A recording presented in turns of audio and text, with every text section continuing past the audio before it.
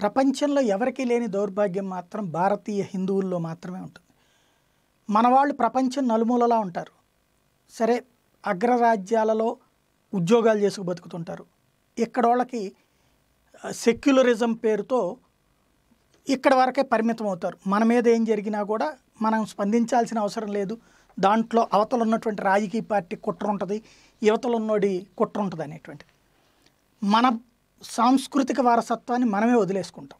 దాని పర్యవసానం మన చుట్టుపక్కల దేశాల్లో ఉన్నటువంటి ఇదే ధర్మానికి సంబంధించిన అనుసరించేటువంటి వాళ్ళు అనేక మంది ప్రాణాలు కోల్పోయారు. అండా దిక్కు లేదు.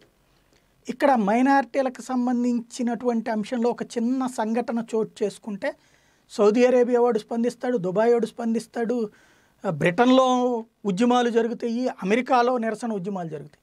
కానీ భారతదేశపు సంస్కృతికి మూలమైనటువంటి హిందువులకు సంబంధించి ఎక్కడ ఏ అరాచకం జరిగినా ఎవరికి పట్టదు.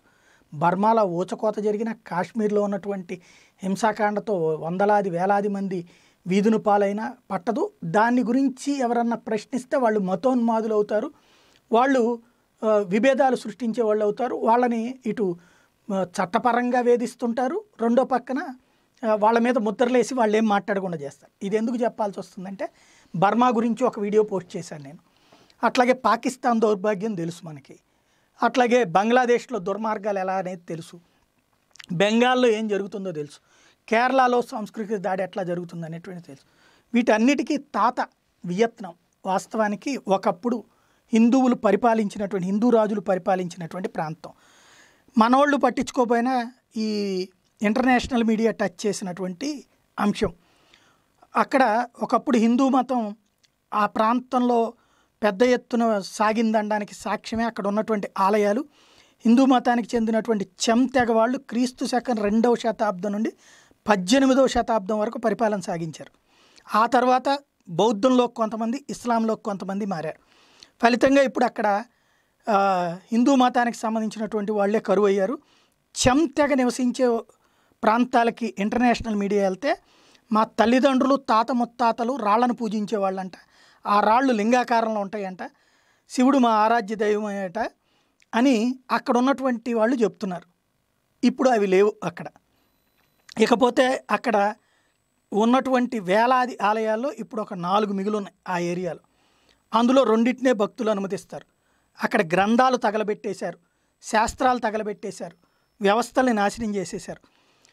ఒకప్పుడు దక్షిణ వియత్నాంలోని చాలా నగరాల్లో హిందువులు నివసించేవాళ్ళు పద్దెనిమిదవ శతాబ్దానికి చెందిన ఆలయానికి ప్రస్తుతం ధర్మకర్తగా ఉన్నటువంటి ఓ పర్సన్ చెప్పేది ఏంటంటే భారత్తోనూ ఇటు వియత్నాంతోనూ సంబంధ బాంధవ్యాలు ఉన్నటువంటి వ్యక్తి అతను.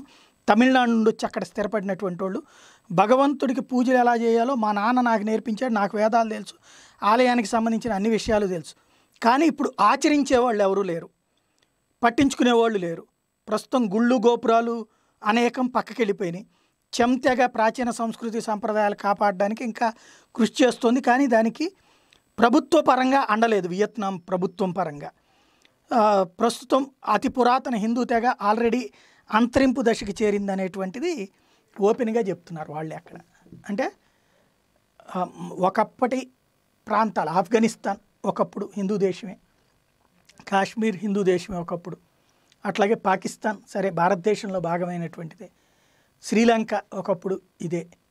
బర్మా ఇట్లా చూసుకుంటే చుట్టూ ఉన్నటువంటి దేశాల్లో ఆల్రెడీ హిందువులు మైనార్టీలు అయిపోయారు ఈ దేశంలో ఉన్నటువంటి రాష్ట్రాల్లోనూ మైనార్టీలు అయిపోయారు రెండు మూడు రాష్ట్రాల్లో ఈశాన్య రాష్ట్రాల్లోనూ అది. ఈ మిగిలిన ప్రాంతం దానికి కూడా ఈ అంశాలను గురించి అసలు పరిశోధనలు చేయడం కానీ ప్రజలకు సమాచారం అందించడం కానీ ఇక్కడ ఉన్నటువంటి మిగతా వాళ్ళని చైతన్యపరచడం కానీ అక్కడ మన వాళ్ళకి ఏదైనా జరిగితే స్పందించి క్వశ్చన్ చేసేటువంటి విధంగా ఉండటం కానీ ఇక్కడ ఉన్న ప్రభుత్వాలు చేయలేదు. ఇక్కడ మనకు అసలు అట్లా చెప్పేందుకు మేధావులు ఎవరు కూడా సిద్ధంగా లేరు. దాని పర్యవసానం సాంస్కృతిక దాడిలో మనల్ని బలిపశువులుగా చేయడానికి జరుగుతున్నటువంటి కుట్ర పతాక స్థాయికి చేరినటువంటి వేళ వియత్నాంను చూసైనా నేర్చుకుంటామా లేదా అనేటువంటిది భవిష్యత్ తేల్చాల్సి ఉంది.